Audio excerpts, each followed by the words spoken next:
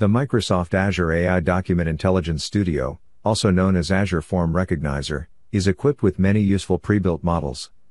However, some unique documents, like this patient registration form, may require the creation of a custom model.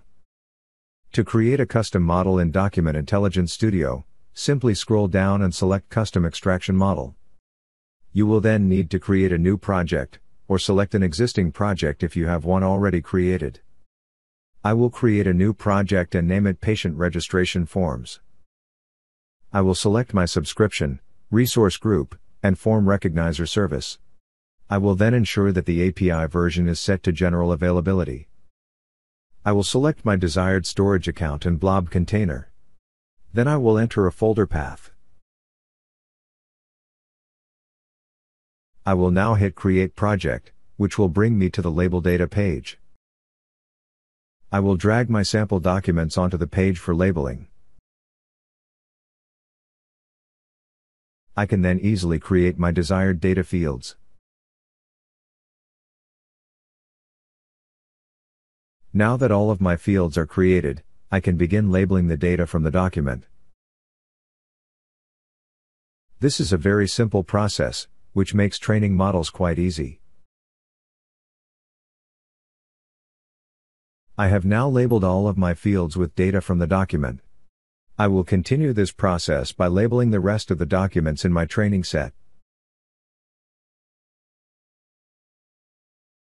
Now that all of the documents have been labeled, I can hit the train button to train the new model. I will name it General Hospital and give it a description. Since my training set only contained documents of the same format, I will select the template build mode for this model. Note that the neural build mode would be used instead if the training set contained documents with differing formats. We can see the newly trained model in the Models tab of the project. The new model can also be tested to ensure that all of the data fields get populated with the correct information from the document. Once a document intelligence model has been created, it can be used in a vast number of ways. For this demo, I will use the Document Intelligence Model's Intelligent AI together with FabSoft's desktop automation driver to send output data to a Microsoft Power Apps flow. The Power Apps flow will then upload the data to SharePoint. I will begin by submitting a document to the desktop automation driver. I will then select the Microsoft Power Apps workflow type, which will open the workflow configuration menu. Now I will enable the workflow specific settings and choose Microsoft Azure Form Recognizer as the OCR engine. I will also copy the endpoint and key from my Document Intelligence resource, which will enable me to select the General Hospital Document Intelligence model. Now that my desired document intelligence model is selected, I can use it to automatically add all of the fields from the document into the workflow. The majority of the workflow configuration is now complete thanks to the document intelligence model. The next step is to configure the document identifier so that all General Hospital patient registration forms will be processed by this workflow. I will then set the output file type to PDF and copy the destination URL from my Microsoft Power Apps flow. The final field I need to configure is the file name, which I will set as the patient ID number. Now that my workflow is fully configured, I can ensure that all of the correct data is sent to Power Apps by hitting the Test Output button.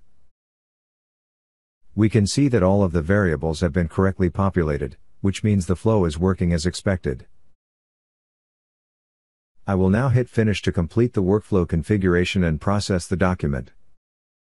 We can see that the document has been sent to SharePoint, and contains the field data gathered by the Document Intelligence Model.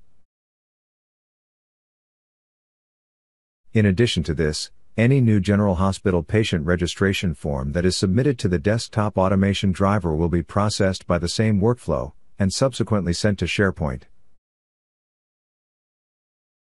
In this example, a custom document intelligence model enabled the creation of a highly efficient system for processing documents to SharePoint, However, many other output locations could have been used since Microsoft Power Apps and FabSoft's desktop automation driver are both extremely versatile products with numerous functionalities.